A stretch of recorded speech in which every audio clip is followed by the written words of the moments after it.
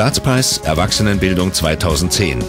Nominiert in der Kategorie Themenschwerpunkt 2010 Integration durch Bildung der Verein Mafalda mit dem Projekt Raus aus der Box. Raus aus der Box ist ein Basisbildungsangebot in Graz für junge Frauen zwischen 14 und 25 Jahren mit und ohne Migrationshintergrund, das auf sehr spezielle Weise künstlerische Prozesse für persönliche Lernprozesse nutzt.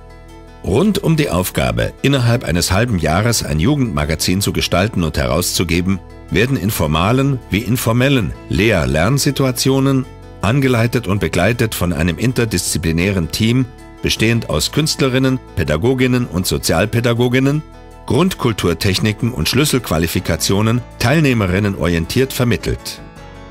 Die sozialen und sprachlichen Kompetenzen der jungen Frauen werden dabei verbessert, Kreativität und Neugierde geweckt, ihr Selbstwertgefühl wird gehoben, Teamfähigkeit erprobt und die Eigenverantwortlichkeit gestärkt.